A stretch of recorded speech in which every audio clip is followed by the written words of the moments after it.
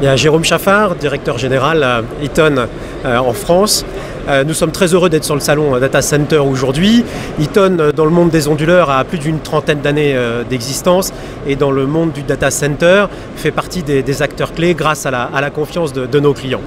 Aujourd'hui sur le, salon, nous sommes particulièrement heureux de présenter euh, deux thématiques fortes.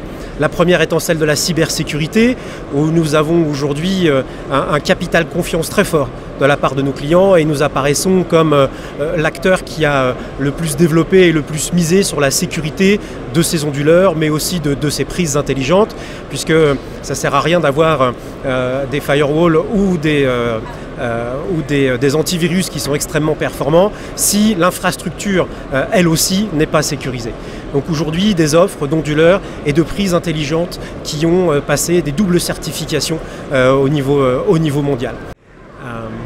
Et un deuxième élément fort euh, sur lequel euh, nous communiquons auprès de notre clientèle et sur lequel nous avons une forte demande, qui est euh, être un acteur clé de la décarbonation et proposer des onduleurs qui vont pouvoir à la fois aider nos clients à gérer les énergies renouvelables, mais aussi à pouvoir s'effacer complètement du réseau et à pouvoir recharger ou décharger effectivement le réseau pour jouer à fond la carte de la décarbonation. Oui, donc euh, merci, euh, merci Jérôme. Philippe euh, Perrault, donc General Manager de la, business unit des triphasés en Europe, Moyen-Orient, Afrique. Merci aussi pour l'opportunité. je dirais que moi, pour prendre un tout petit peu de recul par rapport à ce que Jérôme disait, nous on regarde le data center aussi avec beaucoup d'excitation, un domaine qui change à une vitesse, à une vitesse folle. Notre approche, c'est de vraiment repenser le data center comme un tout la partie IT liée avec la partie euh, distribution électrique. Dans la partie distribution électrique, notre approche, c'est aussi de pousser sur l'offre système global. Moi, je m'occupe des onduleurs, mais nous, on travaille de plus en plus avec l'aspect euh, euh, distribution électrique en amont. Et on vient rajouter toutes les couches, digitales, cybersécurité, digital dans la connexion et l'intelligence au niveau de nos UPS. Et je dirais aussi, j'aimerais insister là-dessus, avec mon rôle de, general manager, tout l'aspect résilience de la supply chain. Aujourd'hui, c'est quelque chose, nos clients vont à une vitesse folle, on a besoin d'être là pour les suivre, on a besoin d'offrir la modularité, la, confiance sur les livraisons, et derrière tout le support technique. C'est aussi quelque chose, on voit que euh, ça devient une des valeurs fortes chez nous, donc le, service, la qualité du service, le support technique. Et derrière tout ça, on a, on je dirais, euh, deux, trois choses concrètes dont on peut parler aujourd'hui. Un, nouveau produit qui va arriver euh, euh, l'année prochaine, fin de l'année prochaine, où on vient vraiment voir quels sont les besoins de, nos clients.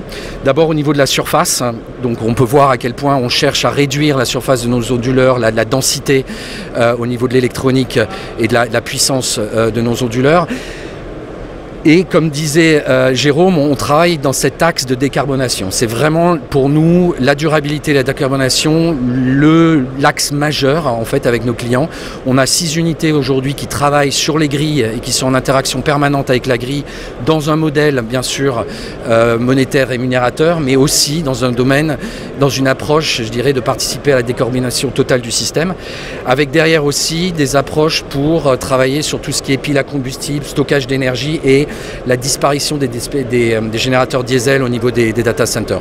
Un dernier point que je peux peut-être annoncer aussi, c'est qu'on est en train d'ouvrir, de monter une toute nouvelle usine en Finlande qui est vraiment notre socle de gravité euh, euh, technique et qui a fait ses preuves et qui, aujourd'hui va nous permettre d'avoir beaucoup plus, je dirais, de, de, bénéfices pour nos clients qui vont pouvoir avoir l'ensemble de l'offre et des puissances de test beaucoup plus grandes pour améliorer la qualité et avancer pour servir nos clients.